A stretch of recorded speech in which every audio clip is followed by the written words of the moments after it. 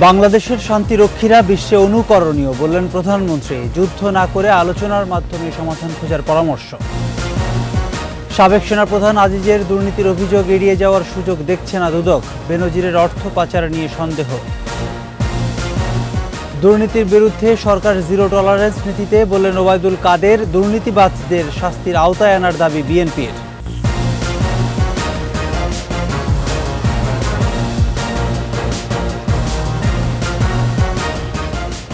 শুনছিলেন first security Islami bank PLC সংবাদ শিরোনাম। আমন্ত্রণ, রাত নটার একুশে সংবাদের সাথে আছি আমি প্রণব চক্রবর্তী। দর্শক, একুশে টেলিভিশনের সংবাদ একই সাথে সরাসরি দেখতে পাবেন আমাদের Facebook page W dot Facebook dot com slash Ekushey twenty four অনলাইনে অস্ত্রের পেছনে নয়, মানুষের জীবন মান উন্নয়নে অর্থ ব্যয় করতে বিশ্ব সম্প্রদায়ের প্রতি আহ্বান জানিয়েছেন প্রধানমন্ত্রী শেখ হাসিনা। যুদ্ধ না করে আলোচনার মাধ্যমে সমস্যা সমাধানের পথ খুঁজতে বিশ্ব নেতাদের পরামর্শ দেন বঙ্গবন্ধু কন্যা এ সময় বিশ্ব শান্তি প্রতিষ্ঠায় বাংলাদেশ এখন রোল মডেল বলেও মন্তব্য করেন সরকার প্রধান। বিস্তারিত থাকছে রিপোর্টে।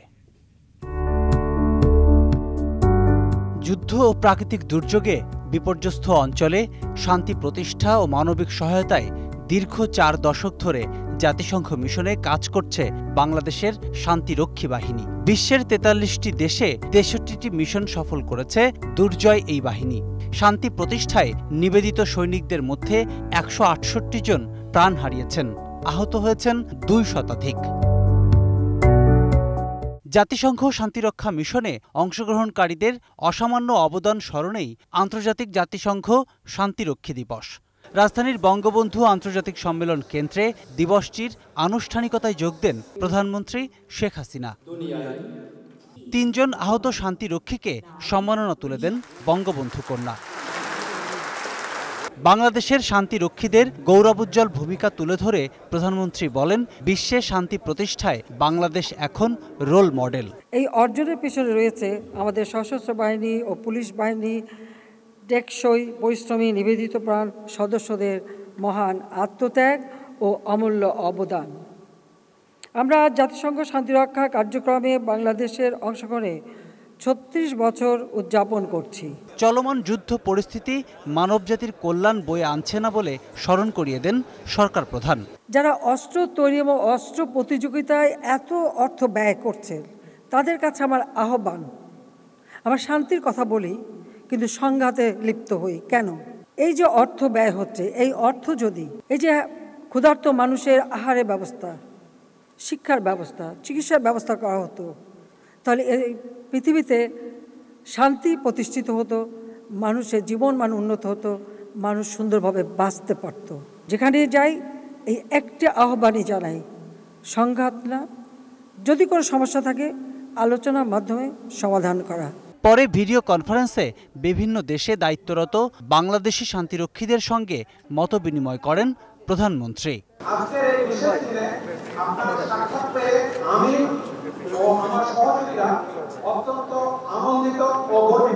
প্রণব চক্রবর্তী একুশে টেলিভিশন ঢাকা।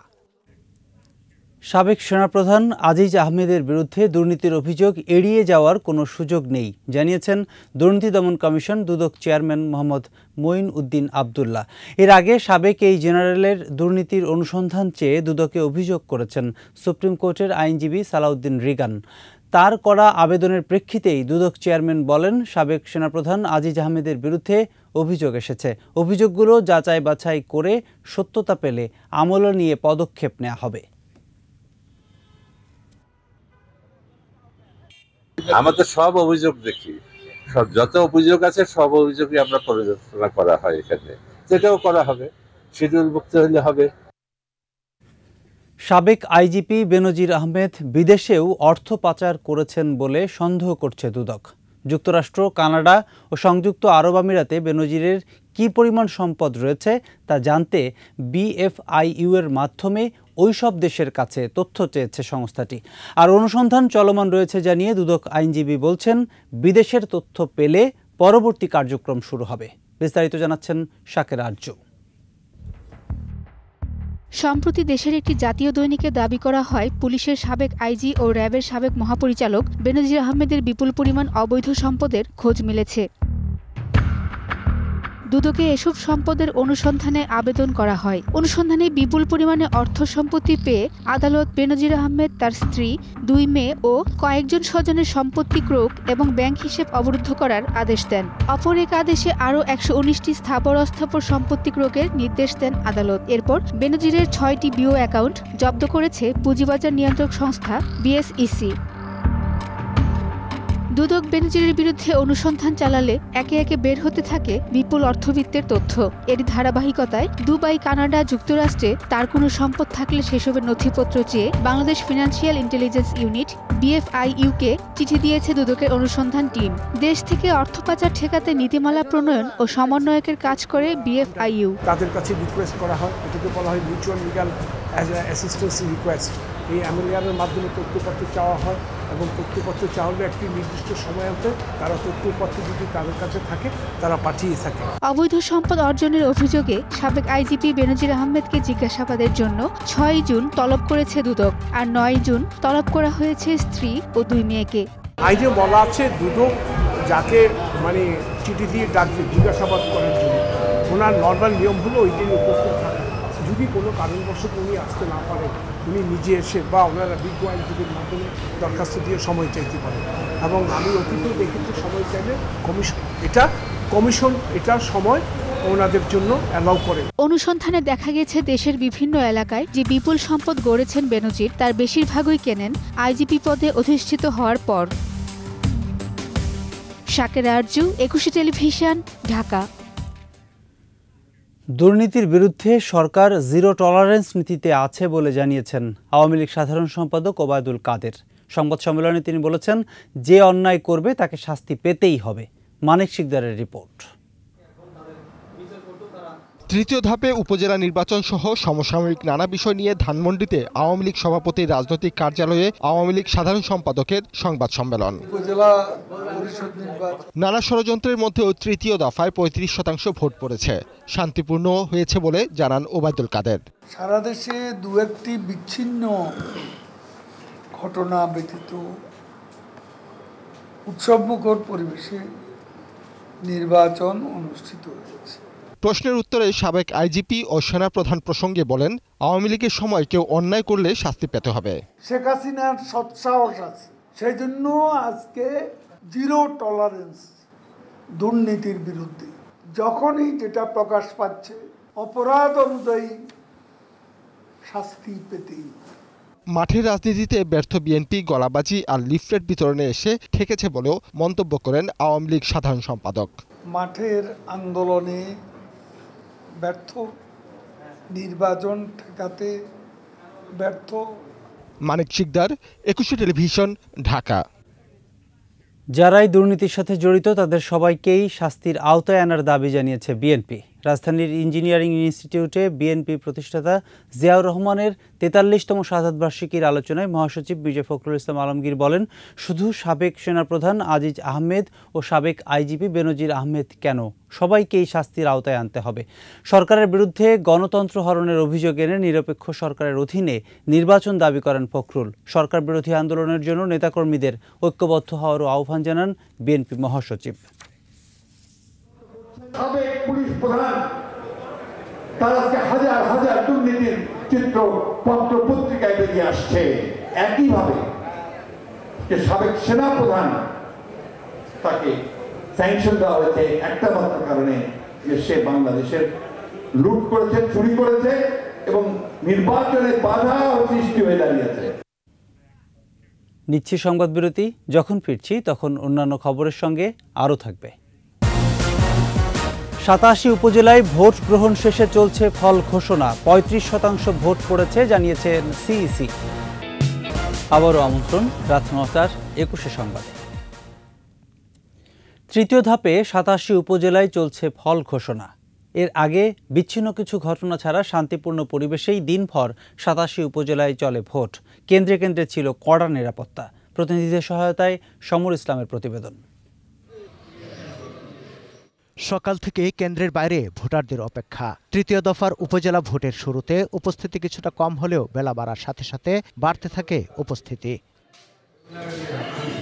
নির্বিঘ্নে ভোট দেওয়ার পরিবেশ তৈরি করেছে কমিশন। এমন পরিবেশ নিয়ে সন্তুষ্টির কথা জানালেন ভোটাররা। সুন্দর ভোট দিছি কোনো জায়গায় সমস্যা হয়নি যারে দেওয়ার দরকার তারাই প্রথম দ্বিতীয় আমি ভোট দিছি খুব ভালো সুন্দর ভোট হয়েছে। ভোট দিতে আসার আগে খুব ভয় করছিল যে নতুন জিনিস কি হয়? তো এটা দেখলাম যে এত সহজ। যে খুব আনন্দ লাগল। ভোটের পরিবেশ ভালো জানিয়ে নিজেদের জয়ের কথা জানান অনেক প্রার্থীও। আশা করছি যে ইনশাল্লাহ ভোটাররা তাদের পছন্দের ব্যক্তি হিসেবে আমাকে বেছে নেবে। মানুষ আমাকে বেছে নেবে বলে আমার বিশ্বাস। তবে রাজশাহীর মোহনপুরে পাঁচ কেন্দ্রে ও পবা উপজেলায় এক কেন্দ্রে দুই প্রার্থীর সমর্থকদের মধ্যে সংঘর্ষে আহত হয়েছেন তেরো জন। চট্টগ্রামের পটিয়ায় একটি কেন্দ্রে হামলা ও ব্যালট ছিনতাইয়ের ঘটনায় ভোটগ্রহণ স্থগিত করা হয়। রংপুর সদর উপজেলার চেয়ারম্যান প্রার্থী ইকবাল হোসেনকে মারধর করার অভিযোগে কেন্দ্রের সামনে অনশন করেন প্রার্থী ও সমর্থকরা। আমি জয়ের ব্যাপারে শতভাগ আশাবাদী। সুনামগঞ্জের দুয়ারা বাজার ভোট কেন্দ্রে দেশীয় অস্ত্র নিয়ে প্রবেশ করায় এক চেয়ারম্যান প্রার্থীর এজেন্টকে ছয় মাসের কারাদণ্ড দেন নির্বাহী ম্যাজিস্ট্রেট। সাতক্ষীরার কলারুয়ায় সুলতানপুর সরকারি প্রাথমিক বিদ্যালয় ভোট কেন্দ্রে সহিংসতার অভিযোগে চারজনকে গ্রেফতার করেছে পুলিশ। প্রতিপক্ষের হামলায় আহত হন এক প্রার্থীর সমর্থক নজরুল ইসলাম। নোয়াখালীর কোম্পানিগঞ্জে জোরপূর্বক এজেন্ট বের করে দেয়া এজেন্ট ফর্ম ছিঁড়ে ফেলা, কেন্দ্র দখল ও জাল ভোট দেওয়ার অভিযোগ এনে ভোট বর্জন করে পুনরায় নির্বাচনের তফসিল দাবি করেছেন উবায়দুল কাদেরের ছোট ভাই, চেয়ারম্যান প্রার্থী শাহাদাত সহ তিন প্রার্থী। আমাদের বাড়ি থেকে বাইরে গেছে ভোরবেলা, ছয়টার লাগে। এগুলো বিভিন্ন কেন্দ্রে ছড়িয়ে গেছে একটা একটা করে। পুলিশের দেশও আছে তাদের মধ্যে, তারা কিন্তু পুলিশ না। এ দফায় চেয়ারম্যান পদে তিনশো সাতানব্বই, ভাইস চেয়ারম্যান পদে চারশো ছাপ্পান্ন ও সংরক্ষিত নারী ভাইস চেয়ারম্যান পদে দুইশো নিরানব্বই জন প্রতিদ্বন্দ্বিতা করেন। সুষ্ঠু নির্বাচন করতে পুলিশ আনসারের পাশাপাশি মাঠে কাজ করছে র্যাব বিজিবি তৃতীয় ধাপে একশো বারো উপজেলার তফসিল হলেও পিরোজপুরের ভান্ডারিয়ায় সব পদে একক প্রার্থী থাকায় সেখানে ভোট হচ্ছে না। নানা কারণে আরও দুই উপজেলায় ভোট স্থগিত হয় আগেই। ঘূর্ণিঝড় রিমালের কারণে স্থগিত করা হয় উপকূলীয় বাইশ উপজেলার ভোট। পুরো বারোটা পর্যন্ত যে প্রাপ্ত তথ্য তাতে কোনো কেন্দ্রে ষোলো পার্সেন্ট কোনো কেন্দ্রে সতেরো পার্সেন্ট কোনো কেন্দ্রে বিশ পার্সেন্ট এরকম ভোট কাস্ট হচ্ছে মর্মে আমরা প্রাথমিকভাবে জানতে পেরেছি। আর উল্লেখযোগ্য বড় ধরনের কোনো ঘটনা নির্বাচন সংশ্লিষ্ট ঘটেনি। সমার ইসলাম একুশে টেলিভিশন। তৃতীয় ধাপে সাতাশি উপজেলায় প্রায় পঁয়ত্রিশ শতাংশ ভোট পড়েছে বলে জানিয়েছেন প্রধান নির্বাচন কমিশনার কাজী হাবিবুল আওয়াল। বুধবার বিকেলে ভোট গ্রহণ শেষে আনুষ্ঠানিক ব্রিফিংয়ে সিইসি বলেন, সীমিত পরিসরে কয়েকটি অপ্রীতিকর ঘটনা ছাড়া অবাধ, নিরপেক্ষ, সুশৃঙ্খলভাবে নির্বাচন সম্পন্ন হয়েছে। আইনশৃঙ্খলা বাহিনীর তৎপরতায় নির্বাচন সফল হয়েছে বলেও জানান সিইসি। তৃতীয় ধাপে নির্বাচনে অনিয়মের অপরাধে একজন সহকারী প্রিজাইডিং অফিসার সহ কারচুপির অপরাধে ত্রিশ জনকে আটক করা হয়। দুইজনকে দেয়া হয় তাৎক্ষণিক কারাদণ্ড। ভোট গ্রহণের সময় হাতাহাতির ঘটনায় ছয়জন আহত এবং অসুস্থ হয়ে একজন প্রিজাইডিং অফিসার মারা যান।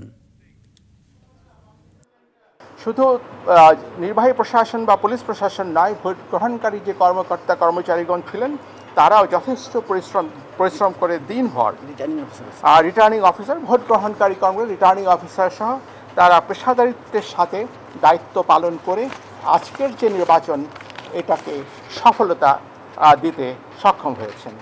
আমরা এ যাবৎ যে উপস্থিতির তথ্য পেয়েছি থার্টি ফাইভ প্লাস মাইনাস কারণ নিশ্চিত করে বলতে বলতে আরও হয়তো বিশ পঁচিশ ঘণ্টা সময় লেগে যেতে পারে।